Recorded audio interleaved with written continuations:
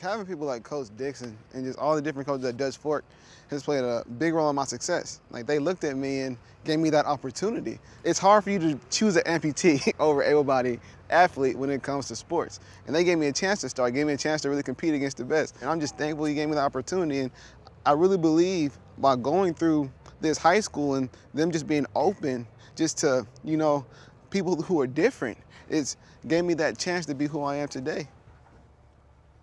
When in 2012, I kind of look at it as where we're going to decide who's the fastest.